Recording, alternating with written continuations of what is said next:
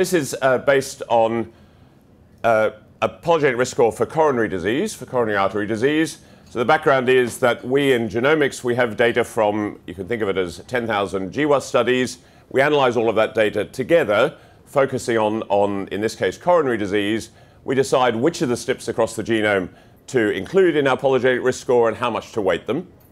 And then we take those scores, we kind of lock down the algorithm for the scores. We take that into a totally independent set of individuals in UK Biobank. And we use the health information in Biobank to learn for those individuals about their disease incidence at different ages.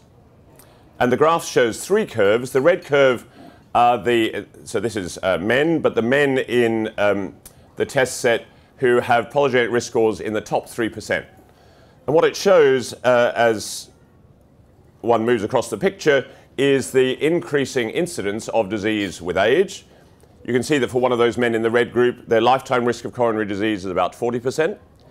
If you compare vertically, if you compare the red curve with the blue curve is the kind of middle 20%, the green curve is the bottom 3%.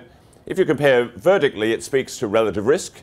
The men in the red group are three-ish fold uh, more likely than average to have coronary disease. And if you compare horizontally, if you look at um, a man in his early 40s here in the red group, his risk of coronary disease is about the same as a typical man in his mid 50s. So people in the UK have talked about the idea of heart age, and it, it's a good way of getting across, a uh, simple and informal way of getting across the idea that, that men in this group are at substantially increased risk. In this case, if you were such a man, you might think about uh, adapting your lifestyle, uh, exercising more, losing weight, stopping smoking if you're a smoker. But there's also a potential clinical intervention through statins, uh, which is a way of, of reducing heart disease risk.